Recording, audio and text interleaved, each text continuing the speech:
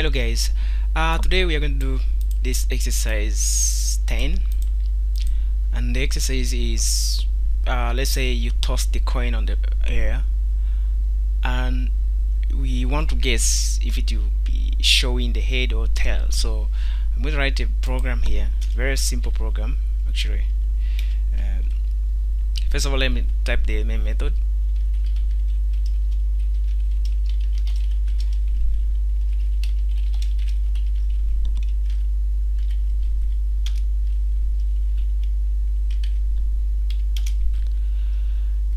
and then let's have the a random number which is number int and I'm gonna have I'm going to typecast the int from the random um, math.random method which is going to be int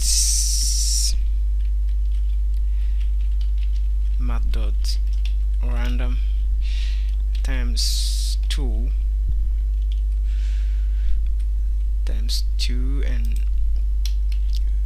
get this number. And now let's create the scanner.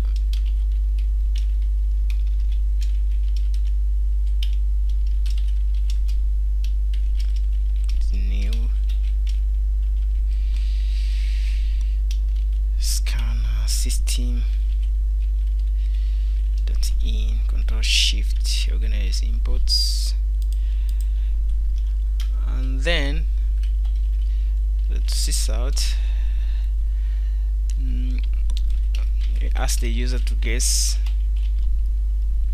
Guess head or tail. Let me question. Uh, then enter 0 for head and 1 for tail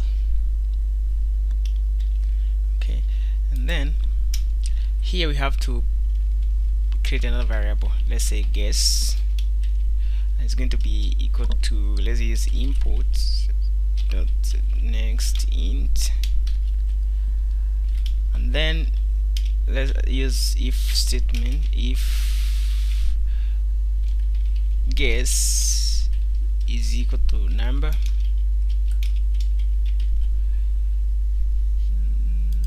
Then let's print this out.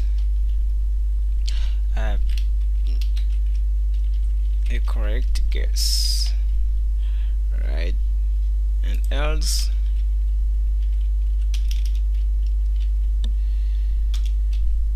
Uh, as let's say if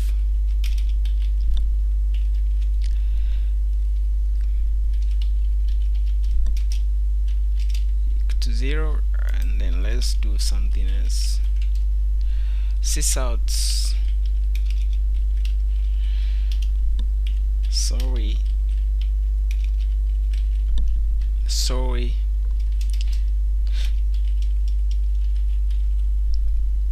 Is a head. Else. Sys out. so sorry teaser tail save control shift F format. Let's try to run this program. Okay guess a head or tail and 0 for head and 1 for tail. Then I'm gonna write 0 and enter and let's say sorry it's a tail okay? And let's try again. Let's put one here. Sorry it's a head. So again zero. Correct yes. So it's just this random number here changing all the time and we try to guess from putting the number from the keyboard by using scanner. And then we check if the number is if the guess is equal to double I mean double equal to number then system print correct guess as if number is equal to zero then head ears tail thank you guys for for your time. Remember subscribe and like and bye bye see you next time. Bye